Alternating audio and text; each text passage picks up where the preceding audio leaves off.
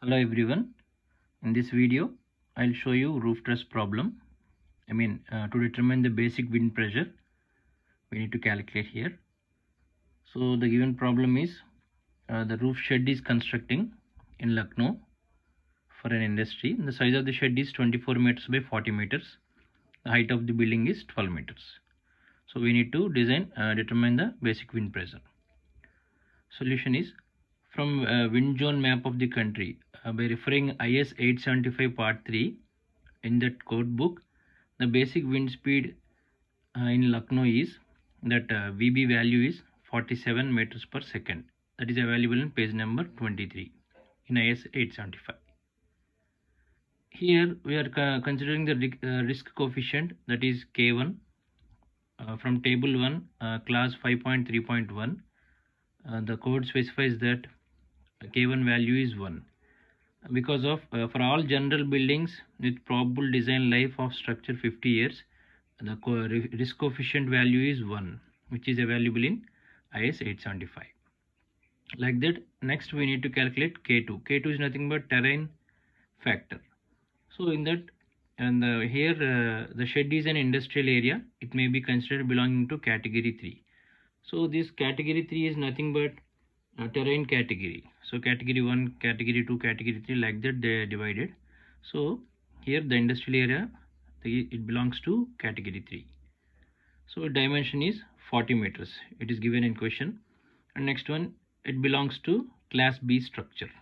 In that uh, the structure belongs to class b.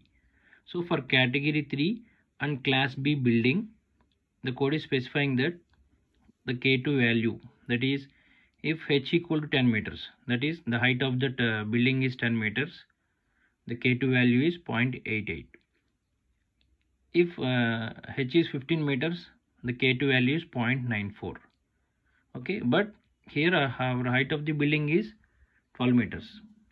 Okay so for 12 meters we need to do interpolation. That is nothing but 12 is in between 10 and 15 so if h equal to 12 meters we need to find out the k2 value okay that is terrain factor.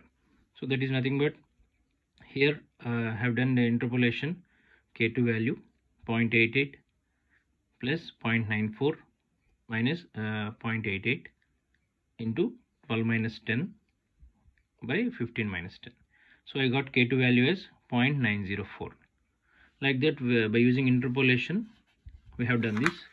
And next one is we need to find out topography factor that is k3 so here our area is Lucknow.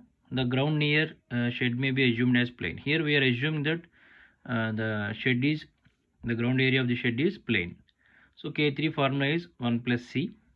So c is nothing but z by l. So z is effective height of the feature and l is upwind slope.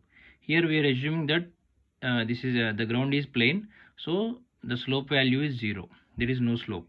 So that's why i'm considering as c as 0 so 1 plus 0 that is 1 and next one is design wind speed.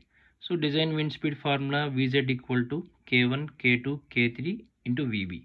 This value uh, this formula is available in IS 875 so i substitute all the values. I got vb value.